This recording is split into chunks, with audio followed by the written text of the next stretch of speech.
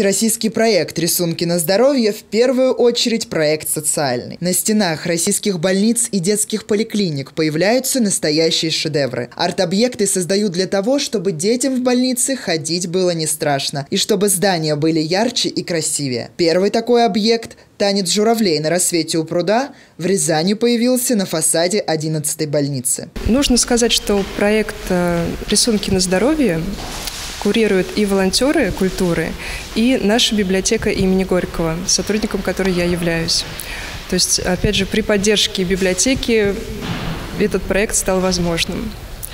Это и материально-техническое сопровождение, и информационное, и ну, вся возможная поддержка, которую только могли нам предоставить библиотеки. Наши художники на стене детского инфекционного отделения а, создали арт-объект «Журавли, танцующие в кувшинках на рассвете». Такое поэтичное название.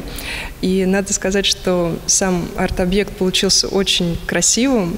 И мы хотели, чтобы он был а, и радовал глаз и детям, и взрослым. То есть он получился такой достаточно универсальным. Команда из семи человек воплотила эскиз всего лишь за пять дней. Работали фасадной краской и баллончиком. Сложнее всего, говорит Александр Синицын, один из художников этого проекта, было нарисовать журавлей.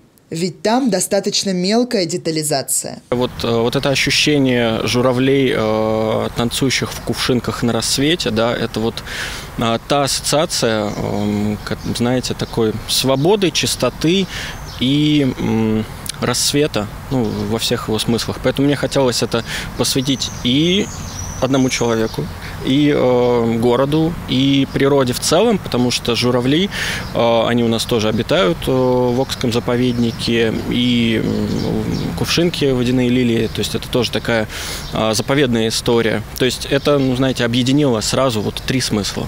Этот проект впервые стартовал еще два года назад в Новосибирской области, но далее он ушел по России и добрался до Рязани. Волонтеров культуры очень много направлений. Это библиотеки, музеи, это большие мероприятия.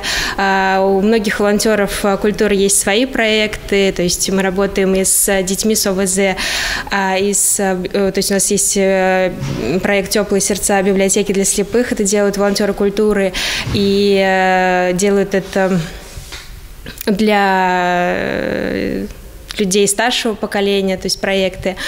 То есть направлений волонтеров культуры очень много. Танец журавлей на рассвете у пруда Первая работа из большого федерального цикла. В августе Рязанская творческая группа продолжит реализацию всероссийского проекта «Рисунки на здоровье». Следующая в списке – областная детская клиническая больница. Герман Гущин, Валерий Седов, Дмитрий Ефимов, телекомпания «Город».